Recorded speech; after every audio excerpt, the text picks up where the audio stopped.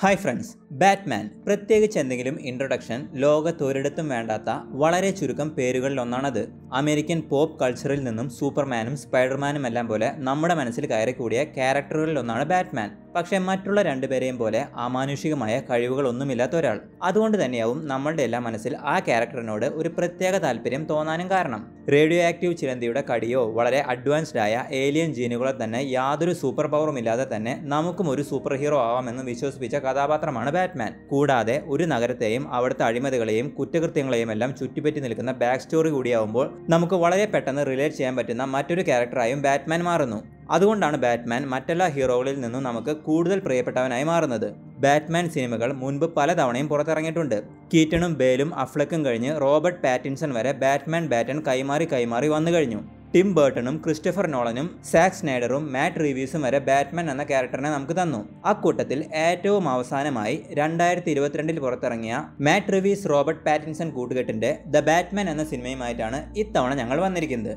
ഒരുപാട് ലെയറുകളും അതിലേറെ ക്യാരക്ടറുകളും മൂന്ന് മണിക്കൂറോളം ഡ്യൂറേഷനും വരുന്ന സിനിമയാണ് ദ ബാറ്റ്മാൻ. മാറ്റ് റിവീസിനെയും പാറ്റിൻസിനെയും കൂടാതെ ലെജൻഡായ ഗ്രെഗ് ഫേസർ എന്ന ക്യാമറാമാനും Paul Dano Zoe Kravitz Peter Skarsgard Andy Serkis Colin Farrell Jeffrey Wright എന്നിങ്ങനെ വളരെ വലിയൊരു കാസ്റ്റും ക്രൂവും ഈ സിനിമയ്ക്കുണ്ട്. അപ്പോൾ നമുക്ക് നേരെ സിനിമയിലേക്ക് കടക്കാം. അതിനു മുമ്പായി നമ്മുടെ ചാനലായ ഫാസ്റ്റ് കട്ട്സ് ഇതുവരെയും സബ്സ്ക്രൈബ് ചെയ്യാതെ കാണുന്നവർ ഇപ്പോൾ തന്നെ സബ്സ്ക്രൈബ് ചെയ്ത് തൊട്ടടുത്തുള്ള ബെൽ നോട്ടിഫിക്കേഷൻ കൂടി ഒന്ന് എനബിൾ ചെയ്യുക. എങ്കിൽ മാത്രമേ ഞങ്ങൾ നിങ്ങൾക്കായി കൊണ്ടുവരുന്ന ഇതുപോലുള്ള വണ്ടർഫുൾ മൂവീസ് നിങ്ങൾക്ക് അപ്പോൾ തന്നെ നോട്ടിഫിക്കേഷനായി ലഭിക്കുകയുള്ളൂ. So welcome back to fast cuts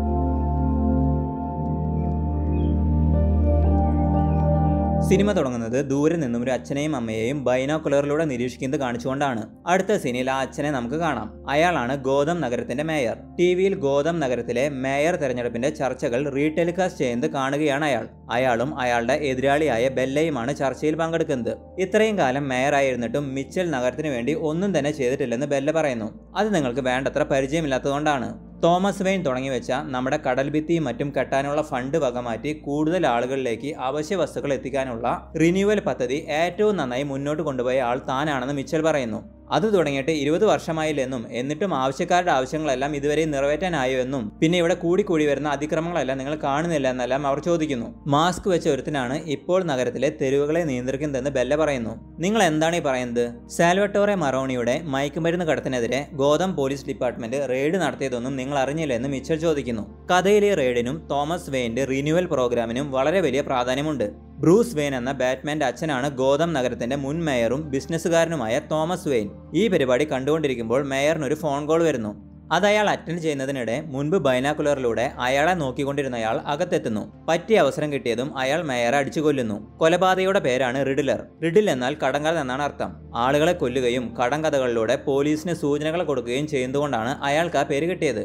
അതൊരു ഹോളോവീൻ ആഘോഷ രാത്രിയാണ് ആളുകൾ ഭീകര രൂപം കെട്ടി റോഡുകളിലൂടെ നടക്കുന്ന ദിവസം. എല്ലാവരും വേഷം മാറി നടക്കുന്നതുകൊണ്ട് കുറ്റകൃത്യങ്ങളും ആ ദിവസങ്ങളിൽ കൂടുതലായിരിക്കും. ഇത്തരത്തിൽ വേഷം മാറി ട്രെയിനിലിരിക്കുകയാണ് കുറേ ആളുകൾ. അവർ ഒരു പാവത്തിനെ ആക്രമിക്കുന്നു. പ്രത്യേകിച്ച് കാരണമൊന്നുമില്ലാതെയാണ് അവർ ഇത് ചെയ്യുന്നത്. പക്ഷെ അപ്പോഴേക്കും ഇരുട്ടിൽ നിന്നൊരു രൂപം അവിടേക്ക് വരുന്നു. None other than the most vigilant in himself Batman ലോക സിനിമയിൽ ക്യാരക്ടറുകൾ പലതുണ്ടെങ്കിലും ബാറ്റ്മാൻ ഇൻറോസ് എന്നും പ്യുവർ രോമാഞ്ചമാണ്. ബാക്കി എന്താണെന്ന് പറയണ്ടല്ലോ? എല്ലാവരെയും ബാറ്റ്മാൻ തല്ലി ഒതുക്കുന്നു. മുൻപ് നമ്മൾ കണ്ട കൊലപാതകം അന്വേഷിക്കാൻ എത്തിയതാണ് ഇൻസ്പെക്ടർ ഗോർഡൻ. ബാറ്റ്മാനും അയാൾക്കൊപ്പമുണ്ട്. പക്ഷേ മറ്റ് പോലീസുകാർക്ക് ബാറ്റ്മാനെ വെറുപ്പാണ്. അവർ അവനെ തടയാൻ ശ്രമിക്കുന്നുണ്ടെങ്കിലും ഗോർഡൻ ബാറ്റ്മാനെ അകത്തേക്ക് കൊണ്ടുപോകുന്നു. മേയറിന്റെ മുഖത്തൊട്ടിച്ചിരുന്ന ടേപ്പിലും ഭിത്തിയിലും എല്ലാമായി റിഡിലർ നുണകൾ എഴുതിയിട്ടുണ്ടായിരുന്നു. മേയറുടെ കൈയുടെ തള്ളവിരലും റിഡിലർ മുറിച്ചെടുത്തിരുന്നു. അപ്പോഴാണ് കടങ്കഥ എഴുതിയ ഒരു കത്ത് ഗോർഡാന് കിട്ടുന്നത്. ഒരു നുണയൻ മരിച്ചാൽ എന്ത് ചെയ്യും എന്നതിൽ എഴുതിയിട്ടുണ്ടായിരുന്നു. കടങ്കഥ മലയാളത്തിലാക്കിയാൽ ശരിയാവാത്തതുകൊണ്ട് ഇംഗ്ലീഷിൽ തന്നെ പറയാം. What happens when a liar dies എന്നാണ് ചോദ്യം. ഒരു സൈഫറും അതിന്റെ കൂടെ ഉണ്ടായിരുന്നു. വാക്കുകൾ ഒളിപ്പിച്ചു വെച്ച അക്ഷരങ്ങളുടെ കൂട്ടമാണ് സൈഫറുകൾ. അവ പല രീതിയിൽ വരാറുണ്ട്. ഒരു സൈഫർ സോൾവ് ചെയ്യാനായാൽ എന്തെങ്കിലും സംഭവത്തിൽ ഒളിച്ചിരിക്കുന്ന തെളിവുകൾ കണ്ടെത്താനാവും. അപ്പോഴേക്കും കമ്മീഷണർ അവിടെ എത്തുന്നു. ബാറ്റ്മാൻ അവിടെ കയറ്റിയതിന് അയാൾ ഗോർഡാനെ വഴക്ക് പറയുന്നു. അപ്പോൾ ഗോർഡൻ കയ്യിലുണ്ടായിരുന്ന കടങ്കഥ എഴുതിയ കത്ത് കമ്മീഷണറെ കാണിക്കുന്നു. ടു ബാറ്റ്മാൻ എന്നതിൽ എഴുതിയിട്ടുണ്ടായിരുന്നു. അതായത് റിഡ്ലർ ബാറ്റ്മാനെ നേരിട്ട് വെല്ലുവിളിക്കുകയാണ്. അപ്പോഴേക്കും ബാറ്റ്മാൻ കടങ്കഥ സോൾവ് ചെയ്യുന്നു. ഹീ ലൈ സ്റ്റിൽ എന്നായിരുന്നു ഉത്തരം.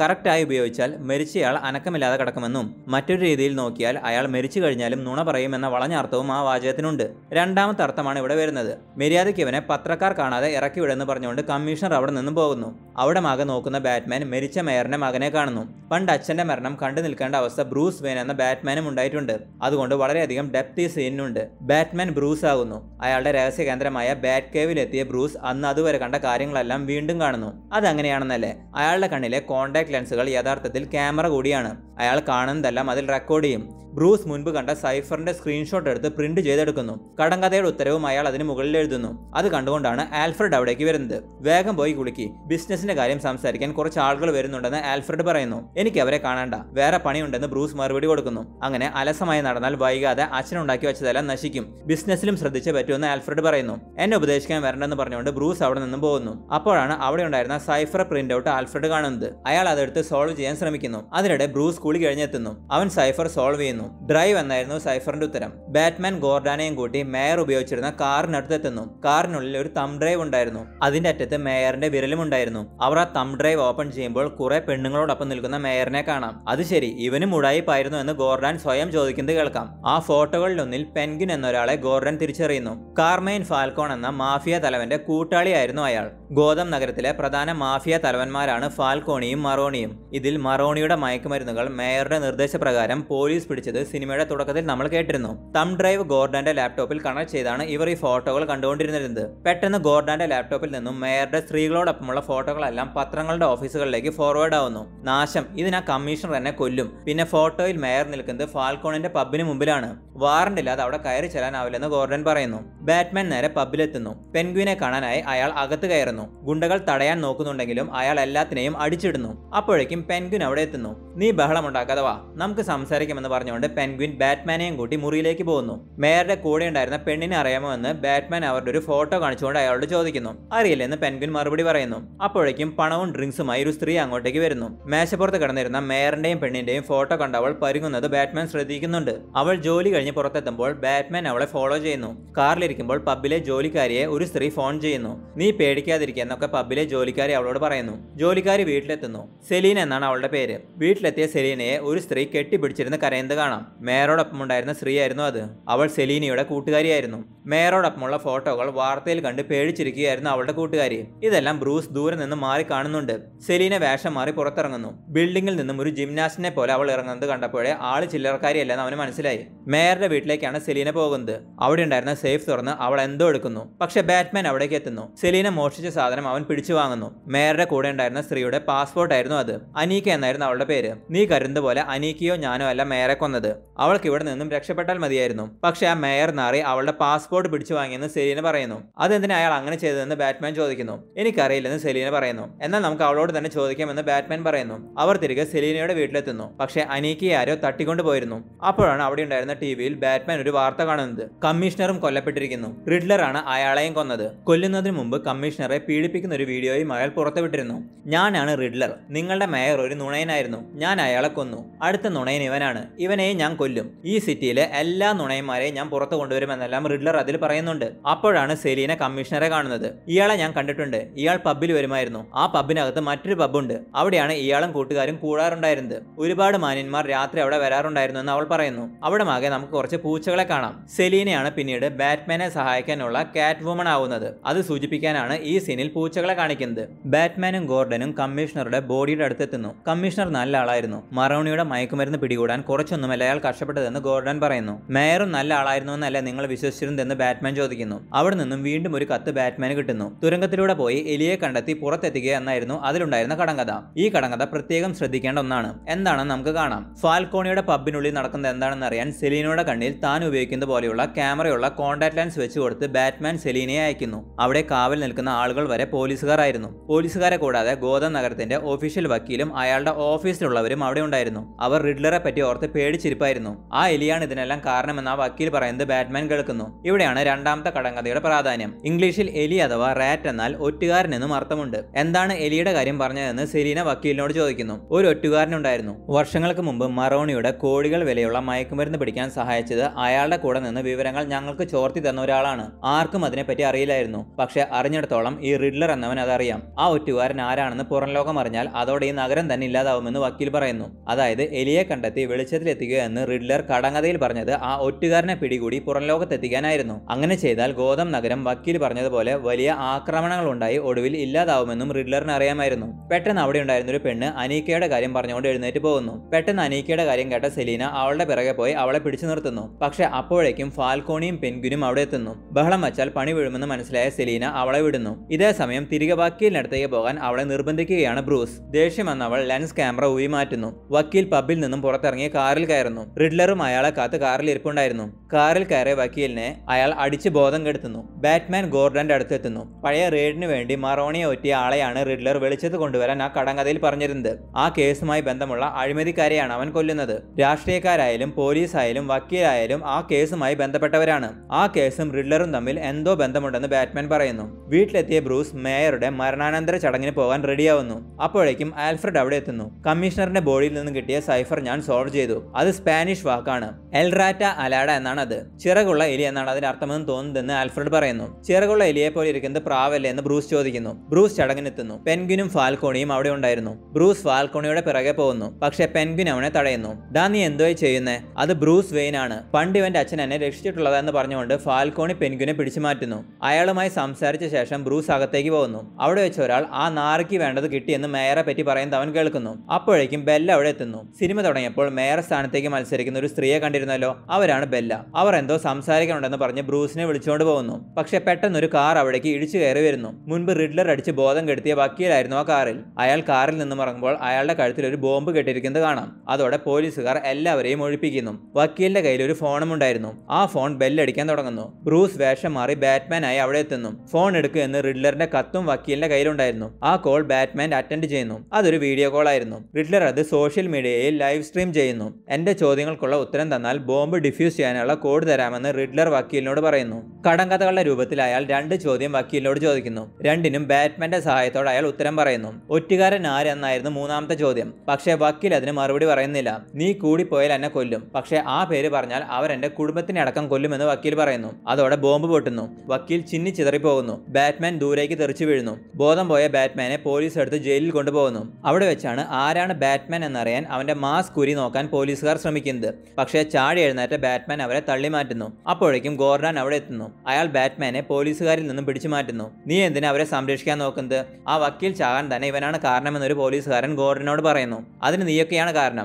ആ ഒറ്റുകാരന്റെ പേര് പറയുന്നതിലും നല്ലത് ചാകുന്നതാണെന്ന് അയാൾക്ക് തോന്നിയെങ്കിൽ അതൊക്കെ നിങ്ങളുടെ പിടിപ്പുകൾ കൊണ്ടാണെന്ന് ബാറ്റ്മാൻ പറയുന്നു. പെട്ടെന്ന് ഒരു പോലീസുകാരൻ അവന്റെ മാസ്ക് പിടിച്ച് മാറ്റാൻ നോക്കുന്നു. ബാറ്റ്മാൻ അയാൾ അടിച്ചിടുന്നു. അതോടെ ഗോർഡന് ദേഷ്യം വരുന്നു. നീ എന്താണ് ചെയ്യുന്നത് പോലീസിനെ കൈവയ്ക്കുന്നു? നീ അങ്ങനെ ഒരാളല്ലെന്ന് ഗോർഡൻ ബാറ്റ്മാനോട് പറയുന്നു. താൽക്കാലത്തേക്ക് ഒന്ന് പുറത്തേക്ക് നിൽക്കാൻ ഗോർഡൻ മറ്റു പോലീസുകാരോട് പറയുന്നു. അവർ പുറത്തേക്ക് പോകുന്നു. നീ നോക്ക് നീ ഇവരുടെ കയ്യിലിരുന്നാൽ ശരിയാവില്ല. എന്നെ അടിച്ചിട്ടിട്ട് ആ വാതിൽ വഴി രക്ഷപ്പെടുമെന്ന് പറഞ്ഞുകൊണ്ട് ഗോർഡൻ ഒരു താക്കോൽ ബാറ്റ്മാന് കൊടുക്കുന്നു. സമയം പാഴാക്കാതെ ഗോർഡൻ അടിച്ചിട്ട് ബാറ്റ്മാൻ അവിടെ നിന്ന് രക്ഷപ്പെടുന്നു. സ്റ്റേഷൻ ബിൽഡിംഗിൽ നിന്നും ബാറ്റ്മാൻ ചാടുന്ന സീനിന് നോളൻ സംവിധാനം ചെയ്ത ഡാർക്ക് നൈറ്റ് എന്ന ബാറ്റ്മാൻ സിനിമയിലെ ഹോങ്കോങ് സീനിനോട് ചെറുതായ സാമ്യമുണ്ട്. എന്തായാലും പോലീസ് പിടിക്കും മുമ്പ് ബാറ്റ്മാൻ അവിടെ നിന്നും ചാടി രക്ഷപ്പെടുന്നു. പിറ്റേന്ന് ഗോർഡൻ ബാറ്റ്മാനെ കാണാൻ എത്തുന്നു നിനക്ക് ഐഡിയ ഒന്ന് പതുക്കെ ആക്കാമായിരുന്നു എന്ന് പറഞ്ഞുകൊണ്ടാണ് ഗോർഡൻ വരുന്നത്. ഞാൻ പതുക്കെ തന്നെയാണ് ഇടിച്ചു എന്ന് ബാറ്റ്മാൻ പറയുന്നു. സാധാരണ നമ്മൾ ചെറിയൊരു തമാശ രൂപത്തിലാവും ഇത്തരം സീൻ കണ്ടിട്ടുള്ളത്. പക്ഷേ ഇവിടെ ഡയലോഗ് സീരിയസ് ആയിട്ട് തന്നെയാണ് ബാറ്റ്മാൻ പറയുന്നത്. ശരിക്കും അയാൾ പതുക്കെ തന്നെയാണ് ഗോർഡാൻ അടിച്ചത്. അപ്പോൾ എന്താണ് ആ ഡയലോഗിന്റെ അർത്ഥം? കഴിഞ്ഞ രണ്ട് വർഷത്തെ ബാറ്റ്മാൻ അയാളുടെ ജീവിതത്തിനിടയിൽ അയാൾ ശാരീരികമായി വളരെ മുന്നിലെത്തിയെന്നൊരു ഹിഡൻ മീനിങ് കൂടി ആ ഡയലോഗിനുണ്ട്. പത്തോ പന്ത്രണ്ടോ പേരെ ഒറ്റയ്ക്ക് നിന്ന് ബാറ്റ്മാനെ അടിച്ചിടാൻ പറ്റുന്നതും ഇതുകൊണ്ടുകൂടിയാണ് പോലീസ് സ്റ്റേഷനിൽ വെച്ച് പോലീസിനെ തല്ലിയിട്ട് ചാടിപ്പോയതിന് നിന്റെ പേരിൽ കേസുണ്ടെന്ന് ഗോർഡൻ പറയുന്നു. അത് സാരമില്ല. പക്ഷെ അന്ന് സ്റ്റേഷനിൽ വെച്ച് കണ്ടൊരു പോലീസുകാരനെ ഞാൻ ഫാൽക്കോണിയുടെ പബ്ബിൽ കാവൽക്കാരനായിട്ടും കണ്ടിട്ടുണ്ട്. അയാൾ വേഷം മാറി ജോലി ചെയ്തതുമല്ല. അവിടെയുള്ളവരിൽ മിക്കവരും പോലീസുകാരും വക്കീലുമാരുമെല്ലാം ആയിരുന്നു. ഫാൽക്കോണിക്ക് വേണ്ടി എന്തിനാണ് അവർ പണിയെടുക്കുന്നത്? എന്ത് പണിയാണ് അവർ ഫാൽക്കോണിക്ക് വേണ്ടി ചെയ്യുന്നതെന്ന് ബാറ്റ്മാൻ ചോദിക്കുന്നു. ഒറ്റുകാരനെ സംരക്ഷിക്കുന്നത് പോലീസുകാരല്ലേ? ചിലപ്പോൾ പെൻഗിനായിരിക്കും അന്ന് മറോണിയുടെ മയക്കുമരുന്നിനെ പറ്റിയുള്ള വിവരങ്ങൾ പോലീസിന് ചോർത്തി കൊടുത്തത്. മറോണി അന്ന് ഫാൽക്കോണിയുമായി കമ്പനിയായിരുന്നു. അതുകൊണ്ട് സ്വാഭാവികമായും മറോണി മയക്കുമരുന്ന് എപ്പോൾ എങ്ങോട്ട് മാറ്റുന്നു എന്നെല്ലാം പെൻഗിന് അറിയാമായിരിക്കും. പിന്നെ പെൻഗിനാണെങ്കിൽ സർവസമയവും പോലീസിന്റെ ലിസ്റ്റിലുമുണ്ട്. ഏതെങ്കിലും കേസിൽപ്പെട്ട് അകത്ത് പോകുമെന്നായപ്പോൾ അവൻ മറോണിയെ ഒറ്റിക്കൊടുത്ത് സ്വയം തടി രക്ഷിതാവുമെന്നും ഗോർഡൻ പറയുന്നു. ആലോചിച്ചാൽ ഇത് ശരിയുമാണ്. എന്താണ് നടക്കുന്നതെന്ന് നിങ്ങൾക്കൊരു വ്യക്തത തരാനായി വിശദമാക്കാം. ഗോതം നഗരത്തിലെ പ്രധാന ഗ്യാങ്സ്റ്ററുകളാണ് മറോണിയും ഫാൽക്കോണിയും. രണ്ടുപേരും നല്ല കമ്പനിയുമായിരുന്നു. ഫാൽക്കോണിയുടെ വലങ്കയായ ആളാണ് പെൻഗ്വിൻ. ഒരിക്കൽ പോലീസിന്റെ കയ്യിൽ നിന്നും പണി കിട്ടുമെന്നായപ്പോൾ പെൻഗ്വിൻ മറോണിയെ പോലീസിന് ഒറ്റുകൊടുത്തു. മറോണി അകത്തുമായി. അയാളുടെ കോടികൾ വിലയുള്ള മയക്കുമരുന്ന് പോവുകയും ചെയ്തു. പക്ഷേ ഇത് പെൻഗ്വിനാണ് ചെയ്തതെന്ന് ആരെങ്കിലും അറിഞ്ഞാൽ പുറത്തുള്ള മറോണിയുടെ ആളുകൾ ഫാൽക്കോണിയെയും ഗാങ്ങിനെയും ആക്രമിക്കും. അതോടെ ഗോതം വലിയൊരു യുദ്ധക്കളമാവും. പക്ഷെ അത് ഉണ്ടാവാതിരിക്കാനാണ് പോലീസുകാരിൽ ചിലർ കൈക്കൂലി വാങ്ങി പെൻഗ്വിന് കാവൽ നിൽക്കുന്നത്. ഇതിനെപ്പറ്റി മേയറിനും വക്കീലിനും എല്ലാം അറിയാമായിരുന്നു. പക്ഷെ അവരും പെൻഗിനെ രക്ഷിക്കാനാണ് നോക്കുന്നത്. ഇതെങ്ങനെയോ അറിയാവുന്ന റിഡ്ലർ ഈ രഹസ്യം അറിയാവുന്ന ഓരോരുത്തരെയായി കൊല്ലുകയാണ്. ചിറകുള്ള എലി അപ്പോൾ പെൻഗ്വിനാണെന്ന് ബാറ്റ്മാൻ പറയുന്നു. സംഗതി മനസ്സിലാവാതെ ഗോർഡൻ ബാറ്റ്മാനെ നോക്കുന്നു. കമ്മീഷണർ മരിച്ചിടത്തുനിന്ന് കിട്ടിയ കടങ്കഥയിൽ ചിറകുള്ള എലിയാണ് ഒറ്റുകാരൻ എന്ന് പറഞ്ഞിട്ടുണ്ടായിരുന്നു. പെൻഗ്വിനുകളെ കണ്ടാൽ ചിറകുള്ള എലികളെ പോലെ തോന്നില്ലേ? അപ്പോൾ പെൻഗ്വിൻ തന്നെയാണ് ഒറ്റുകാരൻ എന്ന് എന്നോട് പറയാനാവും റിഡ്ലർ ശ്രമിച്ചത്. എന്തായാലും പെൻഗ്വിനെ കണ്ട് സംസാരിക്കാൻ സമയമായെന്ന് ബാറ്റ്മാൻ പറയുന്നു. രാത്രി ബാറ്റ്മാൻ പെൻഗ്വിന്റെ രഹസ്യ സംഘത്തിലെത്തുന്നു. ഗോർഡനും മറ്റൊരു കാറിൽ കൂടെയുണ്ട്. പെൻഗുനാരിയോ കാണാൻ എത്തിയതാണ് ആ ബിൽഡിങ്ങിനുള്ളിലേക്ക് നോക്കിയ ബാറ്റ്മാൻ ഞെട്ടുന്നു. അതൊരു മയക്കുമരുന്ന് നിർമ്മാണ കേന്ദ്രമായിരുന്നു. മറോണിയെ കുടുക്കിയിട്ട് അയാളുടെ മയക്കുമരുന്ന് വിതരണം പോലീസുകാർ ഏറ്റെടുത്തിരുന്നു. ബാറ്റ്മാനും ഗോർഡനും കരുതിയതുപോലെ പോലീസുകാർ പെൻഗിന് വേണ്ടിയല്ല പെൻഗുൻ പോലീസുകാർക്ക് വേണ്ടിയായിരുന്നു പണിയെടുത്തുകൊണ്ടിരുന്നത്. ഇതെല്ലാം അറിഞ്ഞ് ഞെട്ടിയിരിക്കുകയാണ് ഗോർഡൻ. പോലീസുകാരെല്ലാം പണത്തോടുള്ള ആർത്തി മൂത്ത് നഗരത്തെ നശിപ്പിക്കുകയാണെന്ന് അപ്പോഴാണ് അയാൾക്ക് മനസ്സിലായത്. പെട്ടെന്ന് സെലീന അവിടെ എത്തുന്നു. അവൾ പുറത്തു നിൽക്കുകയായിരുന്ന പെൻഗ്വിന്റെ ആളുകളെ അടിച്ചിട്ട് അയാളുടെ വണ്ടിയിൽ നിന്നും പണം മോഷ്ടിക്കാൻ നോക്കുന്നു. അപ്പോഴാണ് കാറിൽ നിന്നും അനീക്കയുടെ ശവം അവൾ കാണുന്നത്. പെട്ടെന്ന് അവിടെ എത്തിയ പെൻഗുനും ഗുണ്ടകളും അവരെ വെടിവെക്കുന്നു. ബാറ്റ്മാൻ വെടികൊണ്ട് വീഴുന്നു. ഗോർഡൻ അവരെ രക്ഷിക്കാനായി ശ്രമിക്കുന്നു. പെൻഗ്വിൻ ബാറ്റ്മാനെ കൊല്ലാനായി അവൻ വീണ് കിടന്നിടത്തെത്തുന്നു. പക്ഷേ ബാറ്റ്മാൻ അവിടെ ഉണ്ടായിരുന്നില്ല. പിന്നീടാണ് സിനിമയിലെ ഏറ്റവും രോമാഞ്ചം വരുന്ന സീനുകളിലൊന്ന് വരുന്നത്. ബാറ്റ്മാൻ ക്യാരക്ടറിനോളം ഫാൻസ് ഉള്ള ബാറ്റ് മൊബൈലിന്റെ എൻട്രി. ശബ്ദം കേട്ട് തിരിഞ്ഞു നോക്കുന്ന പെൻഗ്വിൻ കാണുന്നത് തീയും തുപ്പി ചീറി നിൽക്കുന്ന ബാറ്റ് മൊബൈലിനെയാണ് പേടിച്ചു പോയ പെൻഗ്വിൻ കാറുമെടുത്ത് രക്ഷപ്പെടുന്നു. പിറകെ ബാറ്റ്മാനും രാത്രി മഴയത്ത് ആംബർ നിറത്തിൽ തിളങ്ങി നിൽക്കുന്ന ഗോതം സിറ്റിയിലെ തെരുവുകളിലൂടെ ഒന്നൊന്നര ചേസി ചേസിനൊടുവിൽ തീയുടെ ബാക്ക്ഗ്രൗണ്ടിൽ ബാറ്റ്മാൻ നടന്നു വരുന്നതെല്ലാം സത്യത്തിൽ എപ്പിക് സീനാണെന്ന് പറയാം. എന്തായാലും പെൻഗുനെ ബാറ്റ്മാൻ ചുരുട്ടിക്കൂട്ടി ഗോർഡൻ അടുത്തെത്തിക്കുന്നു. എല്ലാം ഞങ്ങൾക്കറിയാം. നിന്റെ തടി രക്ഷിക്കാൻ നീ മറോണിയെ ഒറ്റുകൊടുത്തു. അയാൾ പോയതോടെ ആർത്തി മൂത്ത മേയറും കമ്മീഷണറും പോലീസും വക്കീലുമെല്ലാം അയാളുടെ മയക്കുമരുന്ന് സാമ്രാജ്യം ഏറ്റെടുത്ത് നിന്റെ സഹായത്തോടെ മുന്നോട്ട് കൊണ്ടുപോവുകയാണ്. മേയറുടെ വായിൽ നിന്നും അടിച്ചു പൂസായിരുന്നപ്പോൾ നീയാണ് ഒറ്റുകാരൻ എന്ന രഹസ്യം മനസ്സിലാക്കിയതുകൊണ്ടല്ലേ നീ അനീക്കിയെ കൊന്നത്? പക്ഷേ റിഡ്ലറിനും ഈ കാര്യങ്ങളെല്ലാം അറിയാം. അതായത് നിങ്ങളുടെ കൂട്ടത്തിലുള്ള ആരുമാണ് റിഡ്ലർ അല്ലേ? എന്ന് ഗോർഡൻ ചോദിക്കുന്നു. നിനക്കൊക്കെ പ്രാന്താണ്. ഞാനൊന്നുമല്ല ഒറ്റിയതെന്ന് പെൻഗ്വിൻ പറയുന്നു. ദേഷ്യം എന്ന ഗോർഡൻ കമ്മീഷണറുടെ ബോഡിയിൽ നിന്നും കിട്ടിയ കടങ്കഥ അവനെ കാണിക്കുന്നു. കണ്ടോ സ്പാനിഷ് എഴുതിയിരിക്കുന്നത് യു ആർ ല റാറ്റ അലാഡ അതായത് ചിറകുള്ള എലിയെന്ന് ചിറകുള്ള എലിയെ പോലെ ഇരിക്കുന്നത് പെൻഗ്വിനാണ് നീയാണ് ഒറ്റുകാരൻ എന്നാൽ അതിനർത്ഥം എന്ന് ഗോർഡൻ ചോദിക്കുന്നു. പോടാ പൊട്ടന്മാരെ നീയൊക്കെ എവിടുന്ന സ്പാനിഷ് പഠിച്ചത്? അത് എൽ റാറ്റ അലാഡ എന്നാണ് വായിക്കേണ്ടത് എന്ന് പെൻഗ്വിൻ പറയുന്നു. അപ്പോഴാണ് ബാറ്റ്മാന് അബദ്ധം മനസ്സിലായത്. യു ആർ എൽ റാറ്റ അലാഡ അതായത് ആദ്യത്തെ മൂന്ന് ഭാഗം ചേർത്ത് വായിച്ചാൽ യു ആർ എൽ എന്നാകും. യു ആർ എൽ എന്നാൽ യൂണിഫോം റിസോഴ്സ് ലൊക്കേറ്റർ അതായത് മറ്റൊരു തരത്തിൽ പറഞ്ഞാൽ വെബ് അഡ്രസ്. ലാപ്ടോപ്പ് എടുത്ത് ബാറ്റ്മാൻ അതിൽ യു ആർ എൽ റാറ്റ് അലാഡ എന്ന സൈറ്റിൽ കയറുന്നു. അതൊരു ചാറ്റ് റൂം പോലെയുള്ള വെബ്സൈറ്റ് ആണ് ബാറ്റ്മാനുമായി നേരിട്ട് ചാറ്റ് ചെയ്യാൻ റിഡ്ലർ ഉണ്ടാക്കിയതായിരുന്നു അത്. ബാറ്റ്മാൻ റിഡ്ലറുമായി ചാറ്റ് ചെയ്യുന്നു. നിനക്ക് കാര്യങ്ങൾ അത്ര മനസ്സിലായിട്ടില്ല. ഞാൻ അടുത്തയാളെ കൊല്ലുമ്പോൾ നിനക്ക് അടുത്ത ക്ലൂ തരാം. അതോടെ നിനക്ക് ഒറ്റുകാരനെ മനസ്സിലാവുമെന്ന് റിഡ്ലർ പറയുന്നു. കൊല്ലാൻ പോകുന്നയാളെ കണ്ടെത്താൻ ഒരു ക്ലൂവും റിഡ്ലർ കൊടുക്കുന്നു. അത് സോൾവ് ചെയ്ത ബാറ്റ്മാൻ അടുത്തതായി കൊല്ലാൻ പോകുന്നയാൾ ഒരു അനാഥനാണെന്നും പണ്ട് വെയിൻ കുടുംബം അതായത് ബാറ്റ്മാന്റെ കുടുംബം നടത്തിയിരുന്ന ഓർഫനേജുമായി മരിക്കാൻ പോകുന്നയാൾക്ക് ബന്ധമുണ്ടെന്നും മനസ്സിലാവുന്നു. അവർ ആ പഴയ ഓർഫനേജിലെത്തുന്നു. അവിടെ എത്തി അവർ മയക്കുമരുന്ന് കുത്തിവെച്ച് ബോധമില്ലാതായ ചിലരെ കാണുന്നു. അവിടെ ഒരു പ്രൊജക്ടർ വെച്ചൊരു വീഡിയോ കാണിക്കുന്നുണ്ടായിരുന്നു. ബാറ്റ്മാന്റെ അച്ഛനായ തോമസ് വെയിൻ നടത്തിയ ഗോതം റിന്യൂവൽ ഫണ്ടിനെ പറ്റിയുള്ള ഒരു പ്രസംഗമായിരുന്നു അത്. ഈ ഫണ്ടിനെ പറ്റി തുടക്കത്തിൽ മേയർ മേരിക്ക് മുമ്പ് അയാൾ ചാനൽ ചർച്ചയിൽ പറയുന്നത് നമ്മൾ കേട്ടതാണ്. അവിടെ ഭിത്തിയിൽ അച്ഛന്റെ പാപങ്ങൾക്ക് മകൻ ഉത്തരം പറയുമെന്ന അർത്ഥത്തിൽ ഒരു വാചകം റിഡ്ലർ എഴുതിയിട്ടുണ്ടായിരുന്നു. അതായത് ഇപ്പോൾ നടക്കുന്ന അഴിമതികൾക്കും മറ്റും തോമസ് വെയിനുമായി ബന്ധമുണ്ട്. ദൈവമേ അവൻ കൊല്ലാൻ പോകുന്നത് ബ്രൂസ് വെയിനെയാണെന്ന് ഗോർഡൻ പറയുന്നു. പക്ഷേ ബ്രൂസ് തന്നെയാണ് ബാറ്റ്മാൻ എന്ന് ഗോർഡനും റിഡ്ലറിനും ഒന്നും അറിയില്ലല്ലോ. ഗോർഡൻ തിരിഞ്ഞു നോക്കുമ്പോൾ ബാറ്റ്മാനെ കാണുന്നില്ല. ബാറ്റ്മാൻ വീട്ടിലേക്ക് വിളിക്കുന്നു. വേലക്കാരിയാണ് ഫോൺ എടുക്കുന്നത് പെട്ടെന്ന് ആൽഫ്രഡിന് ഫോൺ കൊടുക്കുന്ന. ബാറ്റ്മാൻ വേലക്കാരിയോട് പറയുന്നു ആൽഫ്രഡ് ബ്രൂസ് വെയിന് വന്നൊരു പാഴ്സൽ തുറക്കുന്ന സീൻ നമുക്ക് കാണാം. അതൊരു പാഴ്സൽ ബോംബായിരുന്നു. അത് മനസ്സിലായ ആൽഫ്രഡ് അത് എറിഞ്ഞു കളയുമ്പോഴേക്കും ബോംബ് പൊട്ടുന്നു. ഫോൺ എടുത്ത വേലക്കാരി നടന്നെല്ലാം ബാറ്റ്മാനോട് പറയുന്നു ഒരു മണിക്കൂർ മുമ്പ് ആൽഫ്രഡ് കത്ത് വായിക്കുന്നതിനിടയ്ക്ക് ഒരു പൊട്ടിത്തെറി ഉണ്ടായെന്നും അപ്പോൾ മുതൽ അവർ അയാളെ കോൺടാക്ട് ചെയ്യാൻ നോക്കുകയാണെന്നും എല്ലാം അവർ പറയുന്നു. അതായത് ആൽഫ്രഡ് ബോംബ് കാണുന്നതായി നമ്മൾ കണ്ടതെല്ലാം ഒരു മണിക്കൂർ മുമ്പേ സംഭവിച്ചു കഴിഞ്ഞിരുന്നു. ബ്രൂസിന് പകരം ഇരയായത് ആൽഫ്രഡ് ആയിരുന്നു ബോംബ് പൊട്ടിയിടം പരിശോധിച്ച പോലീസുകാർ റിഡ്ലറിന്റെ ഒരു കത്ത് ബാറ്റ്മാനെ കാണിക്കുന്നു. നരകത്തിൽ കാണാം എന്നായിരുന്നു അതിലുണ്ടായിരുന്നത്. ബാറ്റ്മാൻ ആണ് ബ്രൂസ് എന്ന് റിഡ്ലർക്ക് അറിയില്ലല്ലോ. മേയറും കമ്മീഷണറും ഒക്കെ മരിച്ചെടുത്ത് വന്നതുപോലെ ബ്രൂസ് വെയിൻ മരിച്ചെടുത്തും ബാറ്റ്മാൻ വരുമെന്നും അപ്പോൾ കത്ത് കാണുമെന്നും കരുതിയാണ് റിഡ്ലർ ബോംബിനൊപ്പം ഫയർ പ്രൂഫ് പാക്ക് ചെയ്ത കത്തും അയച്ചത്. എന്തായാലും ആൽഫ്രഡ് മരിക്കുന്നില്ല. കാരണം മിലിറ്ററി എക്സ്പീരിയൻസ് ഉണ്ടായിരുന്ന ആൽഫ്രഡ് ബോംബാണെന്ന് മനസ്സിലായപ്പോഴേ പാഴ്സൽ എറിഞ്ഞു കളഞ്ഞ് മേശയുടെ പിറകിലേക്ക് മാറുന്നത് ആ സീൻ ശ്രദ്ധിച്ചു നോക്കിയാൽ നമുക്ക് കാണാം. പക്ഷേ അയാൾക്ക് മാരകമായ പരിക്കേറ്റിരുന്നു. ആൽഫ്രഡിനെയും കൊല്ലാൻ ശ്രമിച്ചതോടെ റിഡ്ലറിനെ പിടിച്ചേ തീരുമെന്ന വാശിയായി ബാറ്റ്മാന്. അതുവരെ ശേഖരിച്ച വിവരങ്ങളെല്ലാം തറയിൽ കൂട്ടിയിട്ട് ബ്രൂസ് അതിനെപ്പറ്റി പഠിക്കുന്നു. എല്ലാത്തിന്റെയും തുടക്കം തന്റെ അച്ഛൻ കൊണ്ടുവന്ന റീന്യൂവൽ ഫണ്ടിൽ നിന്നാണെന്ന് ബ്രൂസിന് മനസ്സിലാവുന്നു. അവൻ അതിനെ പറ്റിയുള്ള ഫയലുകളെല്ലാം തപ്പിയെടുക്കുമ്പോഴേക്കും മുൻപ് അവൻ കൊടുത്ത ക്യാമറ ലെൻസ് വഴി സെലീന അവനെ കോൺടാക്ട് ചെയ്യുന്നു. സംസാരിക്കാനായി ഒരിടത്തേക്ക് വരാൻ അവൾ പറയുന്നു. അവർ കണ്ടുമുട്ടുന്നു. അനീക്കയെ കൊന്നതിന് പകരം വീട്ടാൻ സഹായിക്കാൻ പറയാനാണ് അവൾ ബ്രൂസിനെ വിളിച്ചത്. നീ അന്ന് പണത്തിന് വേണ്ടിയല്ലേ പെൻഗുനെ തപ്പി വന്നത്? നിന്നെ എനിക്കപ്പോൾ സഹായിക്കാൻ പറ്റില്ലെന്ന് ബാറ്റ്മാൻ പറയുന്നു. പെൻഗുവിന്റെ പണത്തിന് വേണ്ടിയല്ല. അത് ഫാൽക്കോണിയുടെ പണമാണ്. അതിനെനിക്ക് അർഹതയുണ്ട്.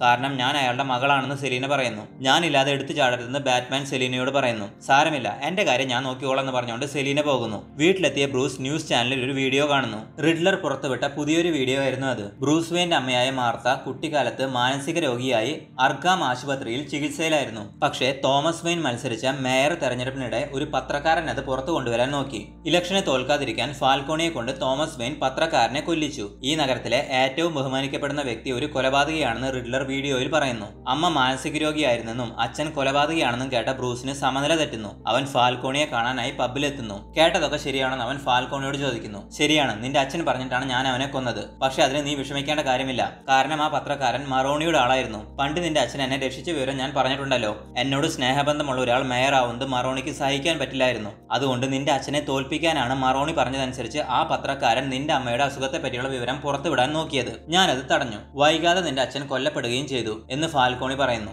അപ്പോൾ മറോണിയാണോ എന്റെ അച്ഛനെ കൊന്നതെന്ന് ബ്രൂസ് ചോദിക്കുന്നു. ആയിരിക്കുമെന്ന് ഫാൽക്കോണി പറയുന്നു. ബ്രൂസ് ആൽഫ്രഡിന്റെ അടുത്തെത്തുന്നു. നിങ്ങൾ ഇത്രയും കാലം എന്നോട് നുണ പറയുകയായിരുന്നല്ലേ? ഞാൻ ഫാൽക്കോണിയെ കണ്ടു. മറോണിയാണ് എന്റെ അച്ഛനെ കൊന്നതെന്ന് അയാൾ പറഞ്ഞു എന്ന് ബ്രൂസ് ആൽഫ്രഡിനോട് പറഞ്ഞു. നീ എന്നിട്ട് അതെല്ലാം കണ്ണും പൂട്ടി അങ്ങ് വിഴുങ്ങിയല്ലേ? പത്രക്കാരന്റെ കാര്യത്തിൽ നിന്റെ അച്ഛൻ ഫാൽക്കോണിയോട് സഹായം ചോദിച്ചത് ശരിയാണ്. പക്ഷെ കൊല്ലാൻ പറഞ്ഞിട്ടില്ല.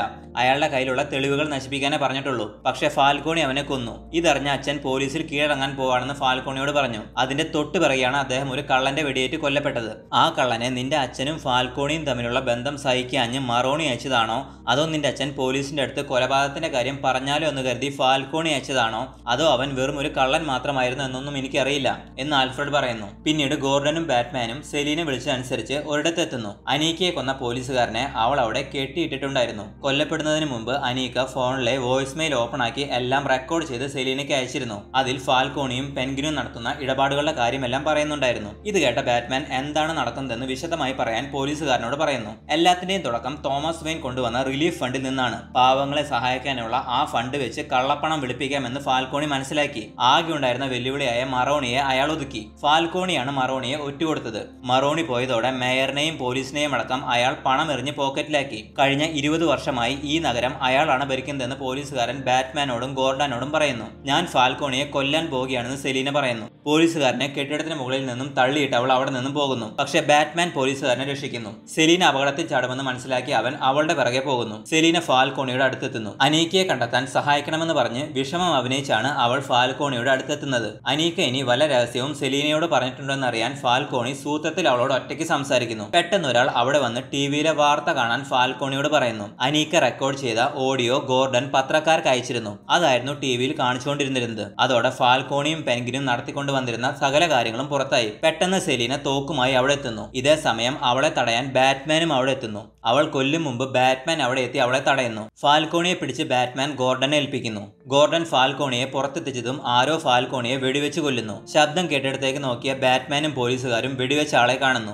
അവർ അയാളെ പിടിക്കാനായി പോകുന്നു. ഒരു കഫേയിൽ നിന്നും പോലീസുകാർ അയാളെ പിടിക്കുന്നു. ബാറ്റ്മാനും ഗോർഡനും അയാളുടെ മുറിയിലെത്തുന്നു. ഫാൽക്കോണിയുടെ പബ്ബിന് പുറത്തായിരുന്നു അയാളുടെ താമസം. മേയറും കമ്മീഷണറും പോലീസുകാരും ഒക്കെ അവിടെ വന്നു പോകുന്നത് അയാൾ കൃത്യമായി കാണുന്നുണ്ടായിരുന്നു. അങ്ങനെ റിഡ്ലർ പിടിയിലാവുന്നു. പോലീസുകാരനും ബാറ്റ്മാനും അയാളുടെ റൂം അരിച്ചു പറക്കുന്നു. ഒരു അനാഥാലയത്തിലാണ് റിഡ്ലർ വളർന്നത്. ഒരുപാട് പ്രതീക്ഷകൾ പലരും അവിടെ വെച്ച് അവന് കൊടുത്തു. എല്ലാം കള്ളമായിരുന്നു. അതുകൊണ്ടാണ് കള്ളം പറയുന്നവരെ വേട്ടയാടാൻ ഞാൻ ഇറങ്ങിയത് എന്ന് റിഡ്ലറിന്റെ ഒരു ഡയറിയിൽ അവർ കാണുന്നു. അവിടെ ഒരു വവ്വാലിനെ റിഡ്ലർ കൂട്ടിലടച്ചിട്ടുണ്ടായിരുന്നു. ആ കൂട് പരിശോധിച്ച ബാറ്റ്മാനെ മേയറിനെ കൊല്ലാൻ ഉപയോഗിച്ച ആയുധവും ഒരു കത്തും കിട്ടുന്നു. അതായത് പിടിക്കപ്പെടണമെന്നുള്ളതും ബാറ്റ്മാൻ ആ റൂം പരിശോധിക്കണമെന്നുള്ളതുമെല്ലാം റിഡ്ലറിന്റെ തന്നെ പ്ലാനായിരുന്നു റിഡ്ലറിന്റെ ലാപ്ടോപ്പ് പരിശോധിച്ച അവർക്ക് സോഷ്യൽ മീഡിയയിൽ അഞ്ഞൂറോളം ഭ്രാന്തമായ ഫോളോവേഴ്സ് അവനുണ്ടായിരുന്ന വിവരം അറിയുന്നു. അവർക്ക് റിഡ്ലർ പല നിർദ്ദേശങ്ങളും കൊടുത്തുകൊണ്ടിരുന്നിരുന്നതും അവർ അറിയുന്നു. അവിടെ ഭിത്തിയിലുണ്ടായിരുന്ന ഫോട്ടോകൾ കണ്ട് ബാറ്റ്മാൻ മറ്റൊരു കാര്യം കൂടി മനസ്സിലാക്കുന്നു. ബാറ്റ്മാൻ യഥാർത്ഥത്തിൽ ആരാണെന്ന കാര്യവും റിഡ്ലർ അന്വേഷിക്കുന്നുണ്ടായിരുന്നു. എന്ന് മാത്രമല്ല ഭിത്തിയിലെ ഫോട്ടോകൾ ശ്രദ്ധിച്ചാൽ മറ്റൊരു ഹിഡൻ ഡീറ്റെയിൽ കൂടി നമുക്ക് കാണാം. പണ്ട് തോമസ് വെയിനും ഭാര്യയും റിഡ്ലർ താമസിച്ചിരുന്ന അനാഥാലയത്തിൽ എത്തിയപ്പോൾ എടുത്ത ഫോട്ടോകളിലൊന്നും ആ ഭിത്തിയിലുണ്ട്. അതിൽ നമുക്ക് കുഞ്ഞു റിഡ്ലർ തോമസ് വെയിനെയും നോക്കി നിൽക്കുന്നത് കാണാം. ഞാനാണ് അവന്റെ അവസാനത്തെ ഇരയെന്ന് ബാറ്റ്മാൻ പറയുന്നു. പെട്ടെന്ന് ഗോർഡൻ ഒരു കോൾ വരുന്നു. റിഡ്ലർ ഭ്രാന്താശുപത്രിയിലാണ്. അവന് ബാറ്റ്മാനോട് സംസാരിക്കണം എന്നായിരുന്നു ഫോൺ ചെയ്ത ആൾ പറഞ്ഞത്. ബാറ്റ്മാൻ റിഡ്ലറിനടുത്ത് എത്തുന്നു നരകത്തിൽ വെച്ച് കാണാമെന്ന് ഞാൻ എന്ന് പറഞ്ഞില്ലേ? എന്ന് റിഡ്ലർ ചോദിക്കുന്നു. ഇനി വരുന്നത് അല്പം കൺഫ്യൂഷൻ ഉണ്ടാക്കുന്ന ഭാഗമാണ്. കാരണം തൊട്ട് മുൻപത്തെ സീനിൽ റിഡ്ലർ താൻ ആരാണെന്ന് അന്വേഷിക്കുന്നത് ബാറ്റ്മാന് മനസ്സിലായിരുന്നു. പക്ഷേ ബ്രൂസ് വെയിൻ തന്നെയാണ് ഞാനെന്ന് റിഡ്ലർ കണ്ടുപിടിച്ചെന്ന് ബാറ്റ്മാൻ ഉറപ്പില്ല. അതുകൊണ്ട് രഹസ്യം പുറത്തായോ എന്ന് പേടിച്ച് പേടിച്ചാണ് ബാറ്റ്മാൻ നിൽക്കുന്നത്. റിഡ്ലർ വീണ്ടും സംസാരിക്കാൻ തുടങ്ങുന്നു. ബ്രൂസ് വെയിൻ കോടീശ്വരൻ അനാഥൻ എന്നാൽ എന്താണെന്ന് നിനക്കറിയാമോ? പണ്ട് തോമസ് വെയിൻ ഞങ്ങളുടെ അനാഥാലയത്തിൽ വന്ന് കുറെ വാഗ്ദാനങ്ങൾ ഞങ്ങൾക്ക് തന്നു. അന്നൊരു ദിവസത്തേക്ക് എല്ലാവരും ഞങ്ങളെ പറ്റി സംസാരിച്ചു. അന്ന് അയാൾ മരിച്ചു. പിന്നീട് ഞങ്ങൾ ആർക്കും വാർത്തയല്ലാതായി.